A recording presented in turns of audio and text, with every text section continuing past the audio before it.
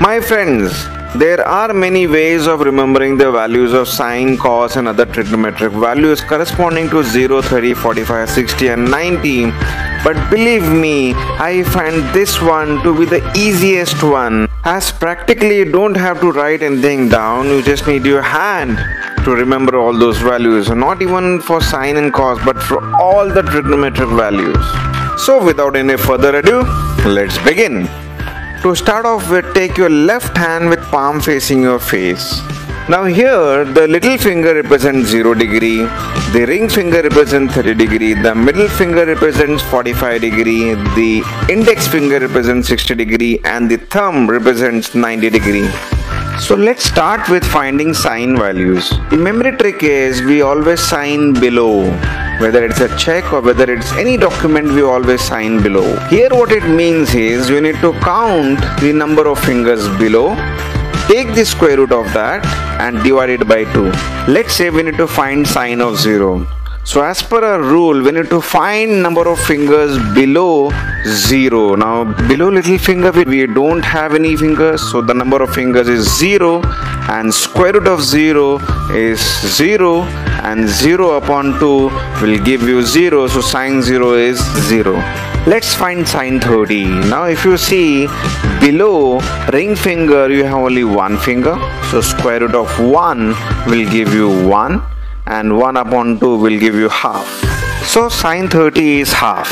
Let's find sine 45 now below middle fingers there are two fingers so as per a formula Sine 45 will be square root of 2 upon 2. So if you rationalize that, that is if you multiply and divide by square root of 2, you will get 1 upon square root of 2. So sine 45 is 1 upon root 2. Let's find sine 60. Now if you see below index finger there are 3 fingers. So as per our formula, sine 60 will be root 3 upon 2. Let's find sine 90. Below thumb you will see there are 4 fingers. So as per our formula, Square root of 4 upon 2 will give you 2 upon 2 which happens to be 1. So sine 90 is 1. So sine 0 is 0. Sine 30 is half. Sine 45 is 1 upon root 2. Sine 60 is root 3 upon 2 and sine 90 is 1. Likewise for cos, the only difference is we are going to count the number of fingers above instead of counting it below. So let's say if you want to find cos of 0 then what we do is we count the number of fingers above the little finger. So square root of 4 upon 2 will give you 2 upon 2 which is 1. So cos 0 is 1. Now let's find cos of 30. Now you can see that above ring finger there are three fingers. So according to our formula cos 30 will be root of 3 upon 2. Now let's find out cos 45. So above middle finger there are two fingers. So as per our formula cos 45 will be root 2 upon 2 and if we rationalize it we'll get 1 upon root 2.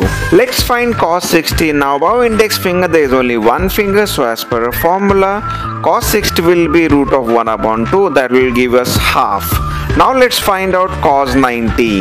Now above thumb there are no fingers so cos of 90 will be root of 0 upon 2. Now root of 0 is 0 and 0 upon 2 is 0 so cos of 90 is 0. Now for tan we just flip our hand.